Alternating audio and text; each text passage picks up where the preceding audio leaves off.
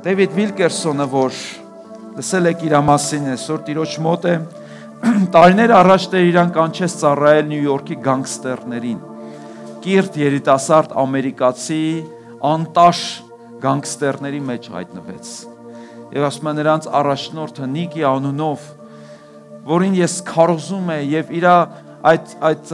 խմբից մի քանի օքի ապաշխարեցին շատ ինքը շփոթվեց թշնամացավ իմ դեմ որ այս սովը եկել է եւ մեր մեջ ինչ է քարոզում։ Եվ ասում եմ մի անգամ մտեցավ ինձ դանակը зерքը parzեց ին ուղությամբ, ասես լսի, քեզ 1000 կտոր կանեմ եւ մարմնիդ ամեն կտորը շախ կտամ Նյու Յորքով մեկ եւ ոչ ոք չի իմանա քո անփառունակ ճակատագրի մասին։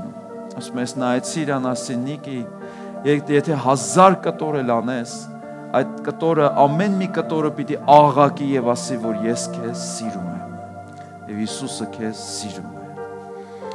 Շարունակությունը Նիկին է պատմում, Նիկի Կրուզը։ Ասում ես գնացի տուն, այլայլված, գժված, որով այս խենթը ինչ սիրո մասն է խոսում, եւ գնացի, պարկեցի, որ քնեմ, մեկ է նորից իր բարերը, ես քեզ սիրում եմ